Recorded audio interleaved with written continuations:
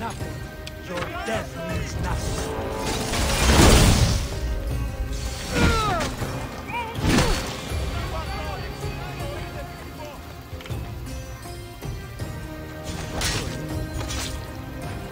One less evil in the world.